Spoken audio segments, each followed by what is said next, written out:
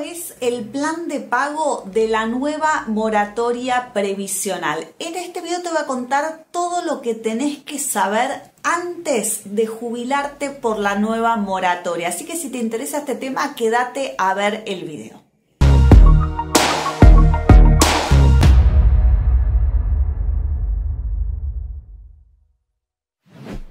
Como todos sabemos, se sancionó recientemente la Ley 27.705 de Plan de Pago de Deuda Previsional. La ley establece que este plan de pago puede ser de hasta 120 cuotas para las personas que compran la unidad de pago de deuda previsional, es decir, las personas que ya tienen la edad jubilatoria. Pero lo primero que tenemos que decir es que no todas las personas que se van a jubilar por esta ley van a poder acceder al sistema de descuento de cuotas de la moratoria de su haber jubilatorio. Hay dos grupos de personas que sí o sí van a tener que pagar la moratoria al contado. ¿Quiénes son? Son, en primer lugar, las personas que cobren un beneficio de carácter contributivo superior al haber mínimo y por otra parte, las personas que superen los topes permitidos para la evaluación socioeconómica. Es decir, ya tenemos dos grupos de personas que no acceden al sistema de plan de pago en cuotas. En segundo lugar, si bien la ley dice que esto es hasta 120 cuotas, no es que vos podés elegir cualquier opción dentro de las 120 cuotas, sino que hay opciones limitadas.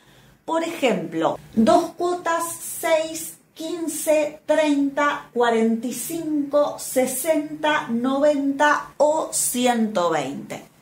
¿Por qué pasa esto de que hay cantidades de cuotas limitadas? Esto es por un tema de que como el sistema de pago en cuotas se realiza en ANSES, sería como que llevaría demasiado tiempo que cada persona tenga que elegir entre 120 opciones de plan de pago. Entonces, por eso el sistema va a tirar cantidades limitadas de opciones y vos vas a tener que elegir cuál es la que es más conveniente para tu caso. Existen otras dos diferencias respecto del plan de pago de esta moratoria con las otras moratorias previsionales. Primero, que este plan de pago no se confecciona en el SICAM. Si esto lo aclaro porque hay un montón de gente que me manda mensajes preguntándome, ¿ya está habilitado en el SICAM? No, nunca va a estar habilitado porque esto no se confecciona en el SICAM. El SICAM es un aplicativo de la página de AFIP. Y por otra parte, no es necesario en este caso pagar la primera cuota de nuestro bolsillo, sino que en caso de que logremos acceder a este plan de pago, todas las cuotas se van a descontar del haber jubilatorio. Si esto es una diferencia porque es algo que generaba como un leve atraso de los expedientes que había que pagar la cuota y en algunos casos había que llevarla a la ANSES para que la escaneen ¿sí? y la incorporen al expediente. Con este plan de pago no va a ser necesario hacer esto.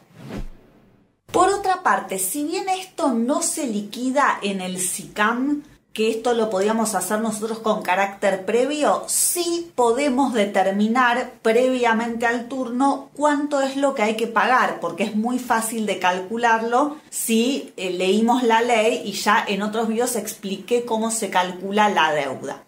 Si cuando nosotros vamos al turno no estamos de acuerdo con la deuda que determina el empleado de ANSES o con la cantidad de cuotas, tenemos la facultad de decir que no lo aceptamos en ese momento y pedir un tiempo para pensarlo. Si ahí va a quedar hay dos opciones, o que el plan quede rechazado por la persona o que quede en espera o en consulta.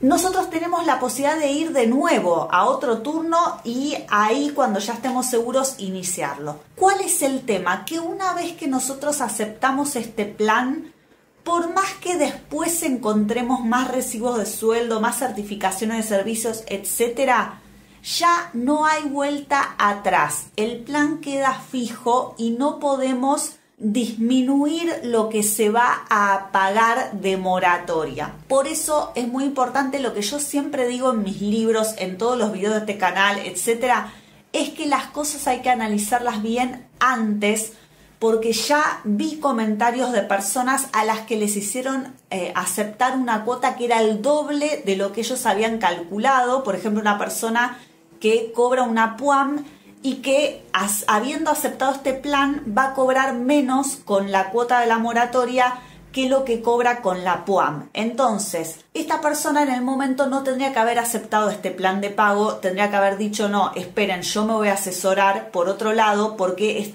te arruinaste la vida, digamos, al renunciar a la PUAM para cobrar menos, ¿sí? Ya tengo videos también en los que hablo de si conviene o no conviene pasar de PUAM a este tipo de jubilación.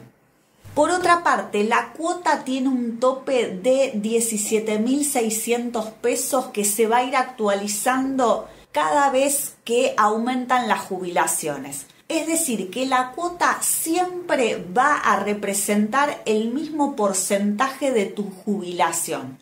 Si vos cuando te jubilás la cuota es el 15% de tu haber, durante todo el plan de pago vos vas a pagar el 15%, ¿sí?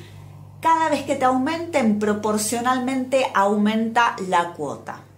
Bueno, por último quería recordarles lo que siempre digo, sobre todo en mi libro, que está por salir la segunda edición de este libro, es que nosotros mismos nos tenemos que ocupar de tener la mejor jubilación posible y no delegar lo que va a ser el futuro de nuestra vida y nuestro ingreso que no sea otro el que tome las decisiones por nosotros y sobre todo si es otro que en realidad lo hace para sacarse el trabajo de encima o porque necesitan iniciar una cantidad de expedientes para generar como una estadística de eh, los casos que atendieron en determinada oficina de ANSES. ¿sí?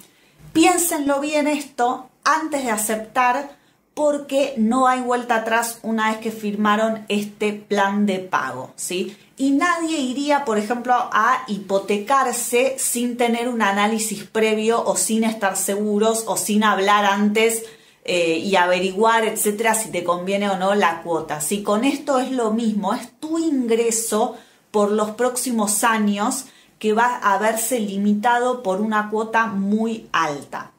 Bueno, como siempre espero que toda esta información te haya resultado de utilidad. Si el video te gustó, suscríbete a mi canal de YouTube porque es la única forma de que esta red social te avise cada vez que yo subo un nuevo video. Y ahora sin más te saludo y nos vemos en el próximo video.